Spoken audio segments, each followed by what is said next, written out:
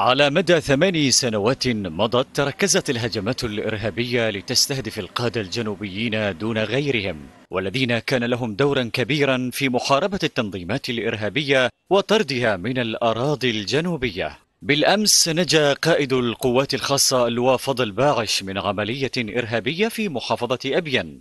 وأفاد اللواء باعش للغد المشرق أنه أثناء طريق عودته بين محافظتي عدن وأبين تم تفجير سيارة مفخخة في موكبه في تمام الساعة الحادية عشرة وعشرين دقيقة صباحا ما أدى إلى إصابة ثلاثة من مرافقيه بجروح مختلفة. ولله الحمد على سلامة جنودنا الأبطال.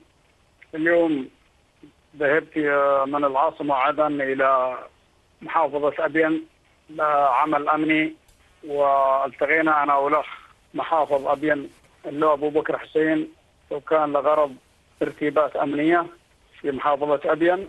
وبعد أن خرجنا من اللغة من قيادة المحافظة الساعة 11 و20 تم تفجير سيارة مفخخة في موكبنا وكان الله الحافظ والعناصر الإرهابية عاثت في البلاد فسادا ولكن بإذن الله أبطال القوات المسلحة والأمن الجنوبية سيظهرون هذه الآفة.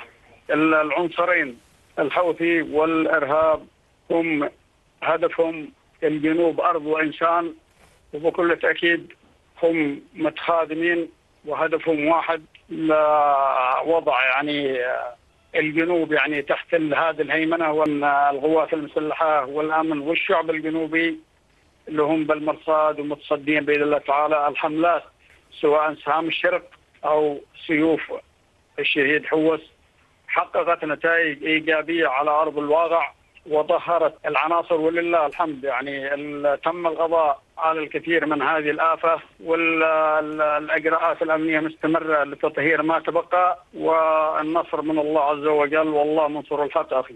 بدوره أدان المجلس الانتقالي الجنوبي بأشد العبارات التفجير الإرهابي الجبان الذي استهدف اللواء فضل باعش قائد قوات الأمن الخاصة في محاولة فاشلة لاستهداف حياته والجنود الأبطال المرافقين له الذين يعملون ليل نهار للحفاظ على الأمن والاستقرار في الجنوب ومحافظة أبين خاصة والتي دفعت ولا زالت تدفع ثمنا باهظا لمجابهة خطر التنظيمات الإرهابية. ولعبت القوات المسلحة الجنوبية دورا محوريا في محاربة التنظيمات الإرهابية من خلال الحملات العسكرية التي انطلقت من العاصمة عدن والتي كان آخرها عملية سيوف حوس والتي حققت فيها القوات الجنوبية انتصارات كبيرة ضد التنظيمات الإرهابية ووصلت إلى عمق تمركز التنظيمات الإرهابية التي لم تصل لها أي قوة طيلة العقود الماضية. ورغم هذه الانتصارات العظيمة ودحر التنظيمات الإرهابية إلا أن الجنوبيين دفعوا فاتورة باهظة راح ضحيتها العديد من القيادات البارزة من القوات المسلحة الجنوبية بعمليات إرهابية. مراقبون يرون أن هذا التنامي للهجمات الإرهابية في الجنوب يأتي بعد النجاحات الأخيرة للمجلس الانتقالي الجنوبي في الجوانب السياسية والعسكرية والدبلوماسية.